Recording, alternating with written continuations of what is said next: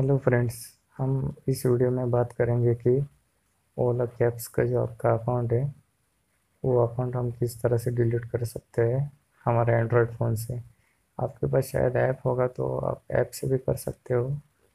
ओला में जाना है, इसके बाद यहाँ पे साइड में थ्री डॉट दिखाई दे रहे वहाँ पे क्लिक करना है।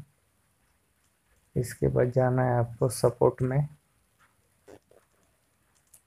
जैसे सपोर्ट में जाओगे जाएँगे तो यहाँ पे नीचे में माय अकाउंट में जाना है। माय अकाउंट में जैसे जाएँगे तो यहाँ पे मिलेगा sign up log log in एकदम लास्ट वाला ऑप्शन है, उस पर क्लिक करना है।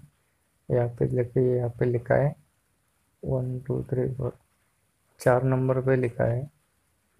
अकाउंट परमानेंटली ब्लॉक पाँच नंबर पे अकाउंट टेम्पररी ब्लॉक तो आप इन दोनों में से भी चूज़ कर सकते हैं, या फिर लास्ट वाला option unauthorised access to account last वाला तो कुछ काम का तो नहीं है विंडो टू ऊपर से चार नंबर वाले पे आप कर सकते हैं अकाउंट टेम्पररी ब्लॉक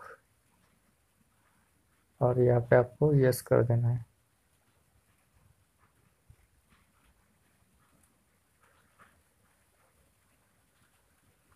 बस आपका अकाउंट यहाँ से डिलीट हो जाएगा। योर अकाउंट परमानेंटली ब्लॉक ऊपर में लिखा हुआ है।